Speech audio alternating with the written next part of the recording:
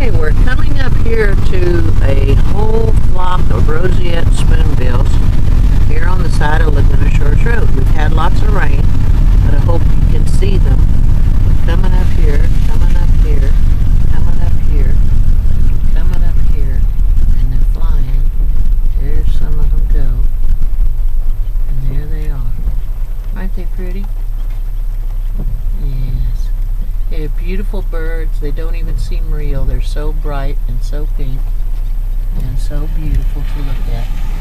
But I wanted to show you how they are. We live in a pretty place here in Corpus Christi, Texas. I'll try to get a little closer without getting run over in traffic.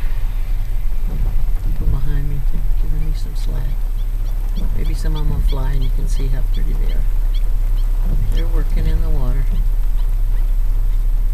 So pretty. Such a pretty bird. They just filter and filter and look and swish their head from right to left. Filtering through the sand, see what kind of little crustaceans they can find. Looks like they're going to move on off, so we'll uh, call it a day for this film.